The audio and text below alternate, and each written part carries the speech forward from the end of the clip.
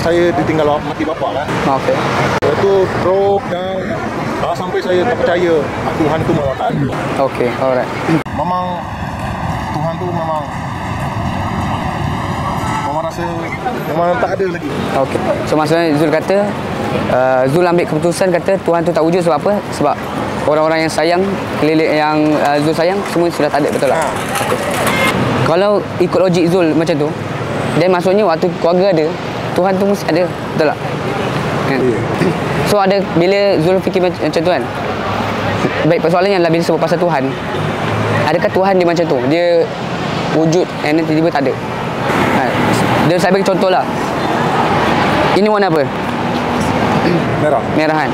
Baik Zul pergi kat mana-mana tempat sekalipun Adakah merah ni akan tukar? Kalau yang tak ada penglihatan eh Ha, maksudnya kalau tak ada penglihatan memang dia tak nampak kan. Tapi adakah dia dia mengubah fakta bahawa ini adalah merah? Dia tak mengubah betul tak? Dia sama juga situasi macam ni Zul. Waktu Zul ada keluarga, maksud ada ahli keluarga uh, yang tersayang, waktu tu memang Tuhan ada.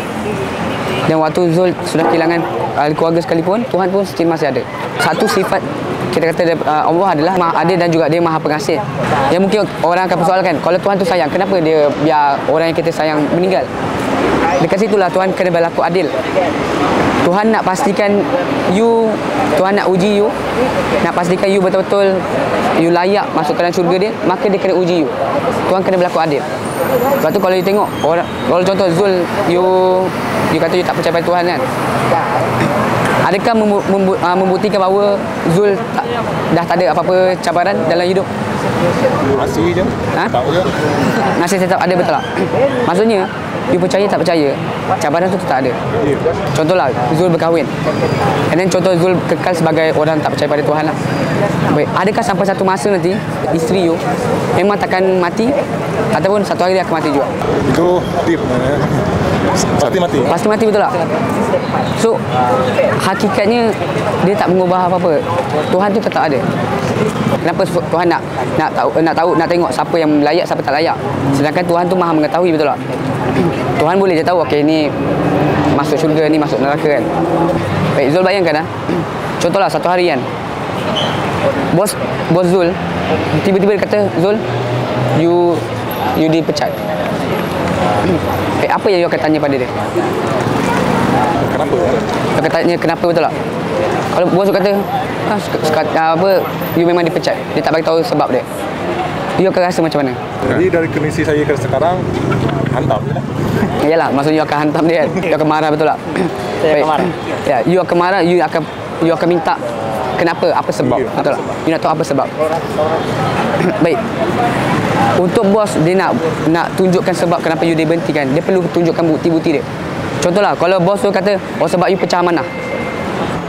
Lepas tu you akan minta apa? You kata, apa bukti dia betul tak? Ya. Apa bukti saya pecah amanah? So bos kena bu- tunjukkan bukti dia yang bahawa you pecah amanah. Kalau bos tak boleh buktikan yang you pecah amanah, maka dia tak layak untuk nak uh, pecat you betul tak? Ya. You boleh persoalkan. Baik. Tuhan kalau ikutkan dia tak perlukan bukti tetapi kenapa dia dia buat macam ni sistem ni? Supaya apa? Supaya let's say orang yang betul-betul pilih untuk tak nak dengar cakap dia dia dah hasilkan satu bukti.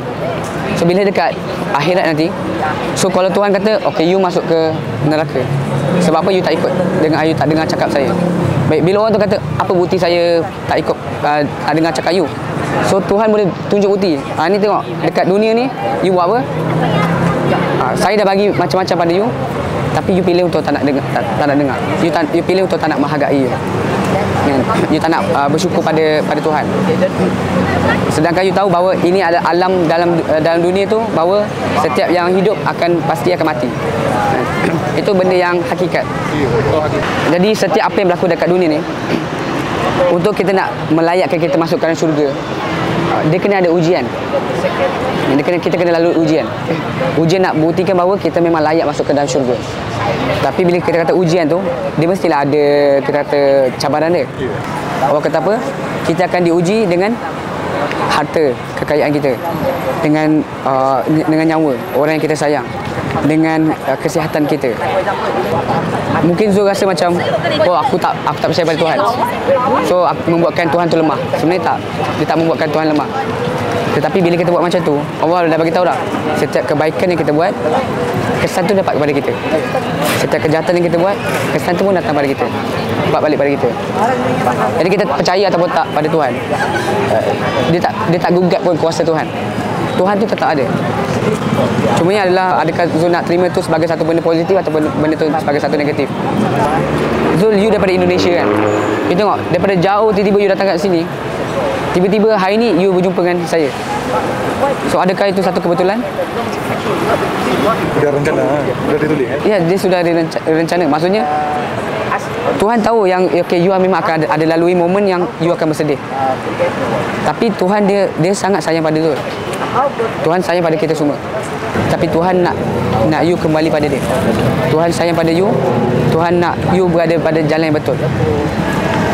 Sebab tu dia bagi you peluang lagi untuk you berfikir balik.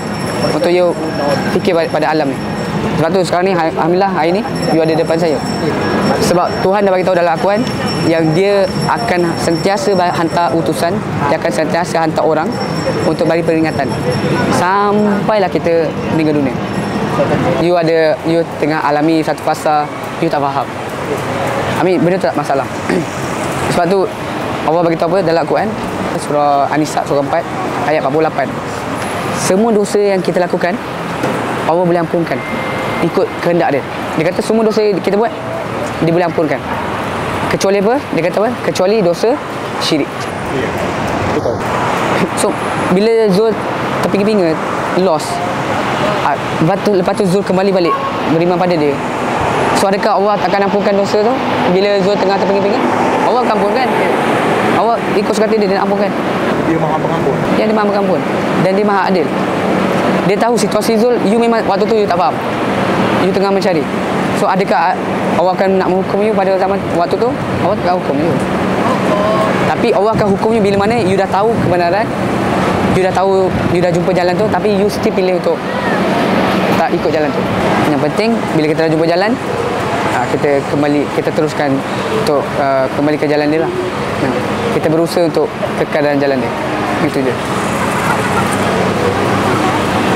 Okey. Betul. Okay, terima kasih banyak. Okey. Okey. Apa, kalau apa-apa kita berhubung eh. Tak. Okey. Alright. Terima kasih, Abang. Sama-sama. Okay.